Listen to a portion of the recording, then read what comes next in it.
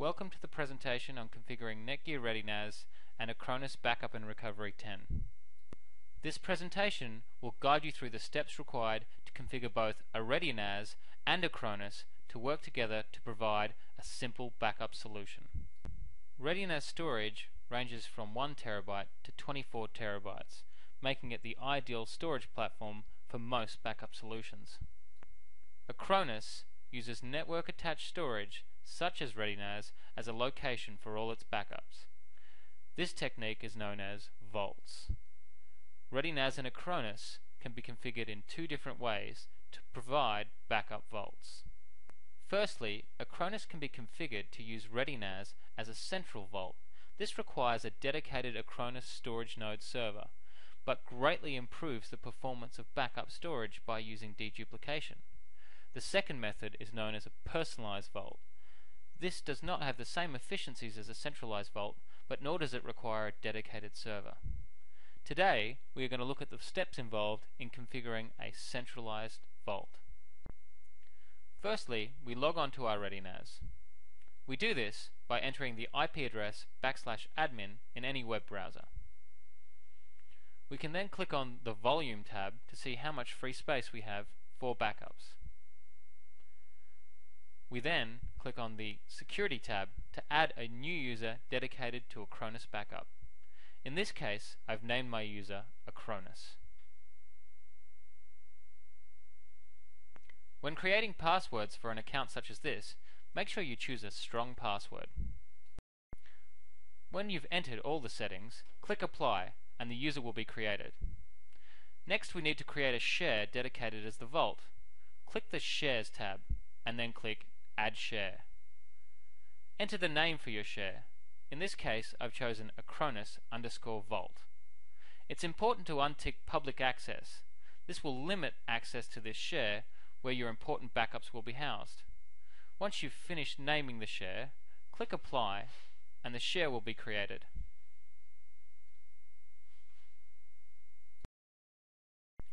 We will now customize the permissions on the share.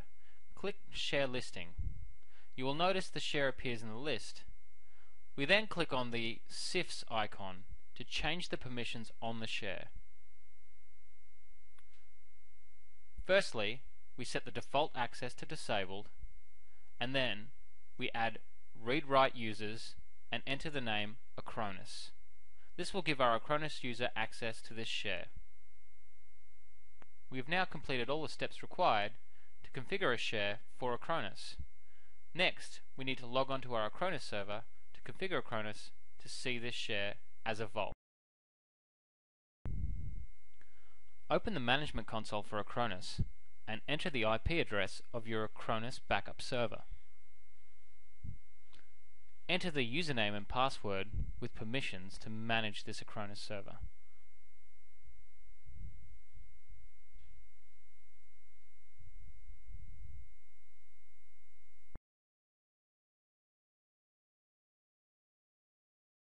In the Acronis Management Console, click on the Vaults option. Then click Centralized. Click the Create button to create a new vault. Enter the name you would like for this particular vault. In this case we name it ReadyNAS Pro. Select the type Managed and then in the Path option click Change. Enter the path of your ReadyNAS by entering backslash backslash the IP address of the ReadyNAS backslash the share name, in this case Acronis underscore vault. Click the green arrow and enter the username and password we created earlier. This will give Acronis access to this share.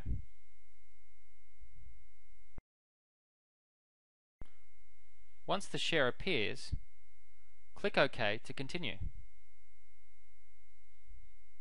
Click Change on Database Path. Create a new folder